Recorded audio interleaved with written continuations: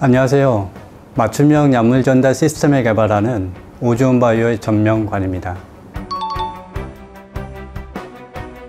약이라고 하는 게 무조건 투여된다고 해가지고 모두 약이 되는 게 아니고요. 아픈 곳에 원하는 약만큼 이렇게 투여되어야 부작용 없이 치료 효과를 최대한 누릴 수가 있습니다. 어떻게 보면 택배 기사라고 생각하시면 돼요. 그 택배가 A라는 집에 정확하게 전달이 돼야 되는데 어떤 때는 A로도 가고 어떤 때는 B라는 집에도 전달되면 안 되겠죠. 약물 전달 시스템 DDS라고 하는데 그거의 목표는 그런 거예요. 그 원하는 곳에 어떻게 하면 거기에만 갈 수 있게 만들 수 없을까? 그래서 그런 식으로 발전해 오는 거죠. 하루에 보통 세 번씩 먹는 일반적인 약을 속방형 제제라고 합니다.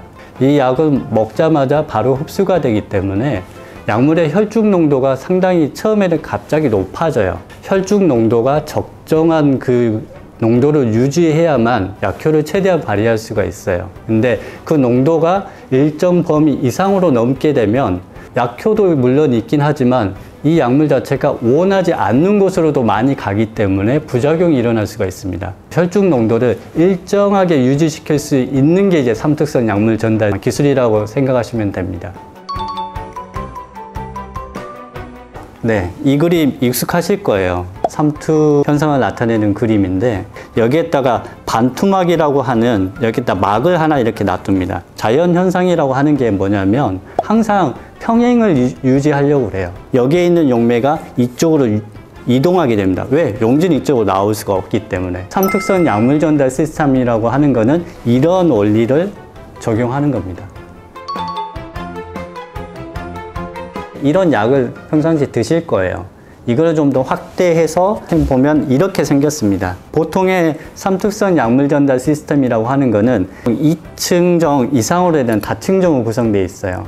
두 개 층으로 되어 있다는 말씀이죠. 통상의 위쪽에는 약물이 주가 주로 되는 약물층이라고 되어 있고 그 아래층은 이 역할 자체가 위로 이렇게 밀어주는 주사기로 보면은 아래쪽 피스톤 이렇게 이렇게 밀어주죠. 그런 역할을 하는 거예요. 왜 그럴까? 보시면 여기에 있는 겉에 있는 이게 뭘로 되어 있냐면은 반투막으로 이렇게 코팅이 되어 있어요. 반투막이라고 하는 건 삼투 현상하고 이렇게 연관이 되어 있죠. 그래서 어, 약이 투여되거나 복용을 하게 되면 물이 이렇게 들어가게 되는데 이게 다 막혀 있다고 하게 되면 어떻게 될까요? 아, 내부 압력을 이기지 못하고 이게 펑 터져 버리겠죠. 그러다 보니까 그 내부 압력을 줄여주기 위해서 구멍을 하나 이렇게 뚫게 됩니다. 물은 이쪽으로 이렇게 일정 속도로 이렇게 들어가지만 그 압력을 해소하기 위해서 이 조그마한 이 구멍을 통해서 이게 쭉 나오겠죠. 뭐까지 함께 나오냐? 여기에 포함되어 있던 이 약물까지 같이 나오는 거예요. 근데 여기 들어가는 물의 유입 속도가 일정하기 때문에 여기로부터 나오는 약물의 방출 또는 이렇게 나오는 속도도 일정하게 유지가 되는 거예요. 그러면은 어떤 효과가 있을까요?